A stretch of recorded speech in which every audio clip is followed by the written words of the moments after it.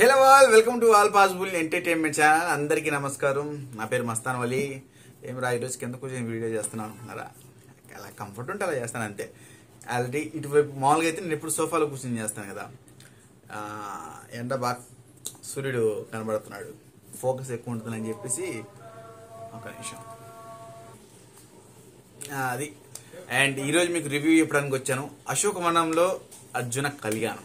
Cinema చూడడం జరిగింది భయ్య. యాక్చువల్గా సినిమా రిలీజ్ అయ్యి కూడా టూ డేస్ అయిపోయింది బట్ uh, నేను అవుట్ ఆఫ్ అవుట్ ఆఫ్లో ఉండడం వల్ల సినిమా చూడలేదు. నేను నైట్ వెళ్ళాను సెకండ్ షోకు నేను మా వైఫ్ ఇద్దరం వెళ్ళాను సినిమాకి. సినిమా సంగతి పక్కన పెడితే సినిమాకి ముందు జరిగిన కొన్ని పాయింట్స్ మనం మాట్లాడుకుందాం. సినిమాకి ముందు సినిమా ప్రమోషన్స్ భాగంగా. ఇప్పుడు సినిమా ప్రమోషన్స్ అంటే ప్రాంక్స్ చాలా కామన్ అయిపోయింది అబ్బా. ప్రతి ఒక్క పెద్ద పెద్ద హీరో సినిమాలకి ప్రమోషన్స్ అవసరం లేదు. ప్రాంక్స్ అవసరం లేదు ప్రమోషన్స్ అవసరం లేదు. ప్రాంక్లు చెప్పాడు ఇప్పుడు మహేష్ బాబు పవన్ కళ్యాణ్ ప్రభాస్ లాంటి వాళ్ళకి అవసరం లేదు. ప్రమోషన్స్ అనేది వాళ్ళు నాలుగు ఇంటర్వ్యూలు చేస్తే సరిపోయింది. అదే టీవీ నైన్ ఏబిఎన్ ఫలానా యూట్యూబ్ ఛానల్స్ అన్ని ఆ ఆ ఇంటర్వ్యూనే టెలికాస్ట్ చేసి పబ్లిసిటీ చేస్తారు సినిమాని. ఇప్పుడు చిన్న హీరోలు వచ్చేసరికి ఏమవుతుందంటే వాళ్ళే కష్టపడాలి. ఎందుకంటే సినిమా పబ్లిక్లోకి తీసుకెళ్తేనే సినిమా బాగుంది అనుకోండి అది వేరే విషయం. సినిమాని ఎలాగైనా ముందు పబ్లిక్కి తీసుకెళ్ళాలా? నా సినిమా రిలీజ్ అయింది చూడండి రా బాబు అని ఎలాగోలా జనాల్ని మెప్పించాలని చెప్పేసి చాలా ఉంటుంది చిన్న హీరోలకి. అలాంటి దాంట్లోనే ప్రాంక్ అయితే చేశాడు. మన మీరు గమనిస్తే రివ్యూవర్ అసలు యాక్చువల్ అతను రివ్యూవర్ అంటే నాకు చాలా చిరాకరిస్తుంది. అలా నడుస్తుంటే రివ్యూ ఇచ్చాడు. పిచ్చెక్కింది నాకు. బట్ ఆ ఈ ఇన్సిడెంట్ జరిగితే నిజంగా నాకు తన మీద చాలా పాజిటివ్ ఒపీనియన్ వచ్చింది. ఆ, లక్ష్మణ్ రివ్యూవర్ లక్ష్మణ్ ఎవరైతే ఉన్నారో తనతో ఒక ప్రాంక్ అయితే చేశారు. అంటే రోడ్డు మీద చేశారు. అది రోడ్డు మీద చేసినా కానీ ఎవ్వరికి ఇబ్బంది లేదబ్బా. మీరు గమనిస్తే అక్కడ రోడ్డు మీద ఉన్న ఆడియన్స్ పబ్లిక్ కూడా ఎంజాయ్ చేస్తున్నారు. చూస్తున్నారు వీడియోస్ చేసుకుంటున్నారు వీడియోస్ చూస్తున్నా షూట్ చేస్తున్నారు. అంతమందికి లేని బాధ టీవీ త్రీ పాయింట్ త్రీకి వచ్చింది. త్రీ పాయింట్ త్రీ కాదు ఏంటి? దాన్ని అంటే ఏదోలే. మనం పర్టికులర్ ఏం చెప్పకూడదు కానీ వాళ్ళకి ప్రాబ్లం వచ్చింది. నడి రోడ్డు మీద ఏంటి న్యూసెన్స్ అని చెప్పేసి. సినిమాకి ఎంత ప్రమోషన్ వాళ్ళు చేస్తే నాకు తెలియదు కానీ అంతకు డబల్. డబల్ ఏంటి? అసలు హండ్రెడ్ టైమ్స్ ప్రమోషన్ అయితే మీడియా వాళ్ళే చేశారు ఆ సినిమాని. ఎవరు ఈ విస్ట్రక్ సేన్? ఫక్ సేన్ ఆ సేన్ ఈ సేన్ అని చెప్పేసి పిచ్చెక్కిచ్చారు. పాపం అతనికి మెంటల్ టార్చర్ ఎలా ఉంటుందో చూపించారు విశ్వసేన్కి ఫ్రాంక్లీ చెప్పాలి. నా నేను మాత్రం ఆ ఇష్యూలో మాత్రం నేను విశ్వసేన్కే సపోర్ట్ చేస్తాను. ఆల్రెడీ నేను నా కమ్యూనిటీ పోల్ కూడా పెట్టాను. ఐ సపోర్ట్ విశ్వసేన్ అని చెప్పేసి. ఎందుకంటే ఇంటికి భోజనానికి పిలిచి అన్నం వడ్డించి తినేటానికి ఇంట్లోంచి వెళ్ళిపోయామంటే ఎలా ఉంటుంది చెప్పండి? ఇంటర్వ్యూకి పిలిచిందే వీళ్ళు. ఇంటర్వ్యూకి పిలిచిందే వీళ్ళు విశ్వక్సేన్ని రమ్మని చెప్పేసి. వచ్చాడు. వచ్చిన తర్వాత వీళ్ళే దేవి నాగవల్లి తనే ఫస్ట్ ఫస్ట్ పాగల్సాను డిప్రెస్డ్ పర్సన్. ఈ విధంగా తన్ని అటాక్ చేసుకోవడం స్టార్ట్ చేసింది తనే ఫస్ట్ ఫస్ట్ తన తనే స్టార్ట్ చేసింది. Get out get out my studio అనేసరికి మనోడు కోపం ఇప్పుడు సహజంగానే డైరెక్ట్ తన్ని తిట్ల. ఫక్ అనే వర్డ్ అనేది అటు తిరిగి చెప్పాడు. నేనైతే ఆ ఆ వర్డ్ వాడడం తప్పు. లేడీస్ ముందు వాడడం తప్పు. బట్ తను డైరెక్ట్గా తనకి చెప్పలా. అలా అని తను చేసింది మంచి అని కూడా చెప్పాను. తనే ఫ్రాంక్లీ చెప్పాలంటే రచ్చ కొట్టింది రచ్చ కొట్టేసింది ఫ్రాంక్లీ చెప్పాలంటే. అండ్ ఈ సీన్ అని కాదబ్బా అప్పుడు అర్జున్ రెడ్డి టైంలో విజయ్ దేవరకొండ అని కూడా ఓ రేంజ్లో లేపేసింది. తర్వాత మొన్న సిద్ధు జనాలు డీజేటీలో ఆ ఇష్యూ అప్పుడు కూడా మీరు మేనేజరా? అసలు ఎవరైనా అడుగుతారా అంత పబ్లిక్గా కొద్దిగానే ఉంటారు వీళ్ళు ఏంటంటే ఈ మీడియా వాళ్ళు ఎవరైతే ఉన్నారో కొంతమంది పర్టికులర్గా. వీళ్ళు ఏంటంటే చిన్న హీరోలనే టార్గెట్ చేస్తారు. అదే పెద్ద హీరోలు. బాలేబాబు గారు లాంటి ఆజీవి లాంటి ఆజీవిని పిలిచి గెట్ అవుట్ అవ్వమని చెప్పండి. బాగా చుక్కలు ఎలా ఉంటాయి పైన ఎన్ని చుక్కలు ఉంటాయో నాకు తెలియదు కానీ అన్నిటికీ డబల్ చూపిస్తాడు ఆజీవి ఒకవేళ ఆజీవిని పిలిచి ఆ విధంగా get out of my studio అంటే చుక్కలు ఎన్ని ఉండేవో తెలియదు కానీ ఆ స్టూడియో నేనికి మొత్తం చూపిస్తాడు ఆజీవి వాళ్ళకి చెప్పేంత ధైర్యం లేదు వీళ్ళకి. చెప్పలేరు కూడా. ఏ, చెప్తే ఏముంది? బాగా వాళ్ళకున్న ఫ్యాన్ బేజ్ వాళ్ళకున్న ఇప్పుడు విశ్వసేన్ కూడా ఫ్యాన్ బేజ్ ఉంది నేను కాదంట్లా. బట్ పెద్ద హీరోలను అలా పిలిచి ఇన్సల్ట్ చేస్తే ఫ్యాన్స్ ఊరుకోరు. స్టూడియోల మీద రాళ్ళు వేస్తారు రాళ్ళు చెప్పులు అన్ని వేస్తారు. అందుకని భయపడి చెప్పరు పెద్ద హీరోలకి ఈ విధంగా స్టేట్మెంట్స్ ఇవ్వరు. బట్ చిన్న హీరోలు కాబట్టి ఇప్పుడిప్పుడు వస్తున్నారు కాబట్టి వీళ్ళకి ఏముందిలే అని చెప్పేసి బిహేవ్ చేస్తారు తప్ప పర్టికులర్గా చేయరు. నాకైతే నచ్చలేదబ్బా. విశ్వక్సేన్ అలా పిలిచి get out of my studio ఏదో తను ఓనర్ అన్నట్టు ఫీల్ అవుతుంది అనిపించింది నాకైతే.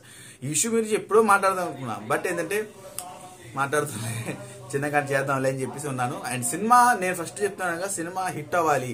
హిట్ అయితే అందరికి బాగా మూతి మీద బుయ్యని కొడితే ఎలా ఉంటుందో ఆ విధంగా ఉంటుంది. సాలిడ్ రెస్పా ఇస్తాడు. ఎందుకంటే ఇప్పుడు సినిమా ఫ్లాప్ అయింది అనుకోండి ఓ రేంజ్ వేసుకుంటారు మళ్ళీ విశ్వక్సేని మరి తీసిన ఫ్లాప్ సినిమాకి దరాబ్ చేశాడు అది చేశాడు. చదివి సినిమా హిట్ అయితే అది వేరే లెవెల్లో ఉంటుంది. సాలిడ్గా ఆ పబ్లిసిటీకి పీక్లో పెంచిన మీడియా వాళ్ళు ఎవరెవరైతే ఉన్నారో విశ్వక్సేన్ డైరెక్ట్ చేసిన వాళ్ళందరికీ సాలిడ్గా చెంపత ఇచ్చేసాడు హిట్ కొట్టి. సినిమా మాత్రం చాలా బాగుంది. నిన్నే చూసాను సినిమా. సినిమా ప్లాట్ వచ్చేసేసి ఆల్రెడీ మనం ట్రైలర్ రూమ్ చూసాం కదా. థర్టీ ఇయర్స్ ప్లస్ ఉన్న మన అర్జున్కి వడ్డీ వ్యాపారం చేస్తుంటాడు సూర్యాపేటలో. తనకి ఏంటంటే మ్యారేజెస్ పెద్దోళ్ళు. అరే ముప్పై ఏళ్ళు వచ్చినాయి పెళ్ళి ఇప్పుడు రా పప్పు అన్నం ఇప్పుడు రా పొట్ట పెరిగిపోతుంది జుట్టు రాలిపోతుంది అనే ఇది మీద మనల్ని అంటుంటుంటారు ఇంకా చూస్తారు చూస్తారు చూస్తారు. ఎవరు సెట్ అవ్వట్లే. ఇంకా తర్వాత కులాంతర అంటే అంటే ఇంటర్ క్యాస్ట్ మ్యారేజ్ వేరే క్యాస్ట్ వాళ్ళని చేసుకుందాం అనుకుంటాడు. అలాగే ఆంధ్రాలో ఒక అమ్మాయి మాధవి హీరోయిన్ తన్ని చూడడానికి వస్తారంతా ఫ్యామిలీ మొత్తం వస్తారు ఎంగేజ్మెంట్కి ఓ బస్సు మాట్లాడుకుని వస్తారు. చూసుకుంటారు ఎంగేజ్మెంట్ అయిపోతుంది. అండ్ పెళ్ళి డేట్ కూడా ఫిక్స్ చేస్తారు. పెళ్ళి డేట్ ఫిక్స్ చేసేటానికి ట్విస్ట్ హీరోయిన్ లేచిపోతుంది. ఇక్కడ షాకింగ్ అదొకటి. ఎందుకు? ఏంటి? అమ్మాయికి పెళ్ళి ఇష్టం లేదా? అండ్ ఈ క్రమంలోనే హీరోయిన్ వాళ్ళ సిస్టర్తో ఒక ట్రాక్ పెట్టాడు. ట్రాక్ నడుస్తుంది. హీరోకి లేచి అమ్మాయి లే- హీరోయిన్ లేచి వెళ్ళిపోయింది. పారిపోయిన తర్వాత హీరోయిన్ చెల్లెలతో కనెక్ట్ అవుతాడు మన హీరో. వాళ్ళిద్దరితో ఎలా కనెక్ట్ అయ్యారు? లాస్ట్కి ఎవరిని పెళ్ళి చేసుకున్నాడు? అసలు ఆ అమ్మాయి ఎందుకు లేచిపోయింది అనేది మీరు సినిమాను చూడాలా? సినిమా మాత్రం నిజంగా నాకు చాలా బాగా అనిపించింది. సినిమా మీరు ఎక్కువ లొకేషన్ కూడా ఉండవు. మీరు గట్టిగా గమనిస్తే నాలుగైదు లొకేషన్లు తీశారు సినిమా. ఎక్కువ మరియు పెద్ద పెద్ద సెట్లు ఏమి ఉండవు పెద్ద పెద్ద ఫైట్లు ఉండవు పెద్ద పెద్ద గ్రాఫిక్స్ లాంటివి ఏమి ఉండవు సింపుల్ సినిమానే. సిం చాలా సింపుల్ సినిమా చాలా సింపుల్గానే హ్యాండిల్ చేశాడు అనిపించింది డైరెక్టర్ ఇంతకుముందు రాజారాణి సినిమాకి డైరెక్టర్ చేసిన రవిరాజా ఆయన ఈ సినిమాకి స్క్రీన్ ప్లే అలాగే మాటలు అందించారు. అండ్ మాటలు మాత్రం డైలాగ్స్ చాలా బాగానే ఉన్నాయి సినిమాలో. నాకు బాగా నచ్చింది. అండ్ డైరెక్టర్ పేరెంట్ అయిన మర్చిపోయాను. రాసుకున్నాను నేను పాయింట్స్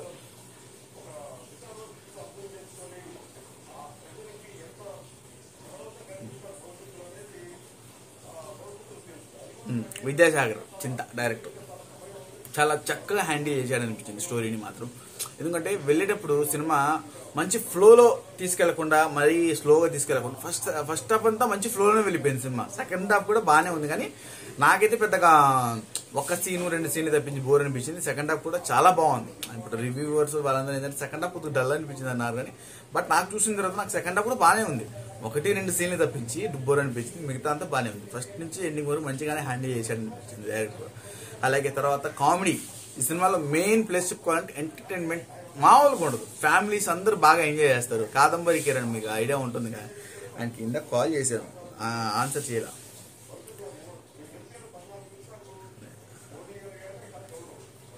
కాదంబరి కిరణ్ గారు.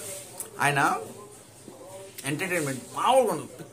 పిచ్చి పీక్లో ఉంటుంది ఆయన ఎంటర్టైన్మెంట్ అలాగే ఈయన అది మిడిల్ క్లాస్ మెడల్స్ ఆయన పేరు డబ్బా గుర్తురాట్లా అదే మిడిల్ క్లాస్ మెడల్స్లో డబ్బులు జాతరా అంటారు చూసారా? ఆయన ఆయన వీళ్ళిద్దరు సినిమాని ఎంటర్టైన్మెంట్లో మామూలుగా తీసుకెళ్ళారు ఓ రేంజ్లో తీసుకెళ్ళారు మంచి ఎంటర్టైన్మెంట్ అయితే ఇచ్చారు వాళ్ళిద్దరు సినిమా మొత్తంలో.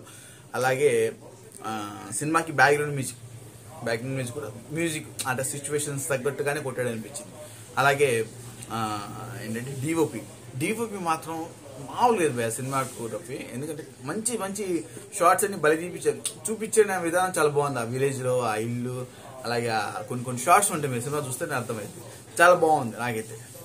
అండ్ ఫైనల్లీ సినిమా మాత్రం చూడండి భయ సినిమా మాత్రం చాలా బాగుంది.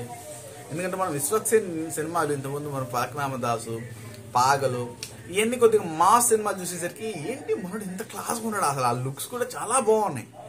Uh, విశ్వక్సేన్ లుక్స్ కూడా చాలా uh, కొత్తగా కొత్తగా అనిపించాడు మనకి. ఆ లుకింగ్లో కానివ్వండి ఆ థర్టీ ఇయర్స్ ప్లస్ ఉన్న uh, ముప్పై ఏళ్ళ తర్వాత పెళ్ళి చేసుకోకుండా ఉండే వాళ్ళ మైండ్ సెట్ ఎలా ఉంటుంది వాళ్ళ ప్రవర్తన ఎలా ఉంటుంది అనేది గట్టిగా చూపించాడు ఆ పొట్ట కానీ ఆ హెయిర్ కానీ నిజంగా నాకు చాలా బాగా అనిపించింది. విశ్వక్సేన్ మాత్రం తాట తీసాడు సినిమా మొత్తానికి తాట తీసి వదిలిపెట్టేశాడు. అలాగే హీరోయిన్ అయితే హీరోయిన్ కంటే హీరోయిన్ వాళ్ళ సిస్టర్కి ఎక్కువ స్కోప్ దొరికింది. మెయిన్ హీరోయిన్ స్కోప్ ఎక్కువ లేదు కానీ హీరోయిన్ వాళ్ళ సిస్టర్ మాత్రం ఫస్ట్ ఫిలిం తంది. బట్ ఫస్ట్ ఫిలిం అయినా కానీ రేంజ్ పర్ఫార్మెన్స్ చేసింది అమ్మాయి. అమ్మాయి పేరు రితిగా అనుకుంటాను మేబీ నాకు తెలిసి. తనే చాలా బాగా చేసింది హీరోయిన్ సిస్టర్ క్యారెక్టర్. హీరోయిన్ ఏంటంటే రామ్ కోసం పెట్టినట్టు అనిపించింది బట్ హీరోయిన్ కూడా బాగుంది. చెప్పి చెప్పిగా క్యూట్ క్యూట్గా ఉంది హీరోయిన్ కూడా. హీరోయిన్ కంటే ఎక్కువగా ఆడియన్స్ హీరోయిన్ వాళ్ళ సిస్టర్ కనెక్ట్ అవుతారు. అండ్ ఇంకంతే. సినిమా మాత్రం చాలా బాగుంది. ఫ్యామిలీతో వెళ్ళి బ్రహ్మాండంగా ఎంజాయ్ చేసే సినిమాని. అందరూ వెళ్ళి చూడండి సినిమాని. బాగా ఎంజాయ్ చేస్తారంతా అండ్ డెఫినెట్లీ నచ్చుతుంది. తప్పకుండా విశ్వసేన్కి సపోర్ట్ చేద్దాం. నిజంగా నా చెప్పంటే నా సపోర్ట్ మాత్రం విశ్వసేన్కే నేను ఎప్పుడూ నా కమ్యూనిటీ పోల్ కూడా పోల్ పెట్టాను. ఐ సపోర్ట్ విశ్వసేన్ అని చెప్పేసి. ఎందుకంటే తప్పు వాళ్ళ వైపు ఉంది కాబట్టి మనం ఎప్పుడు కూడా మంచి వైపే ఉండాలి. I support Vishwaksen thank you all video నచ్చితే లైక్ చేయండి కామెంట్ చేయండి షేర్ చేయండి.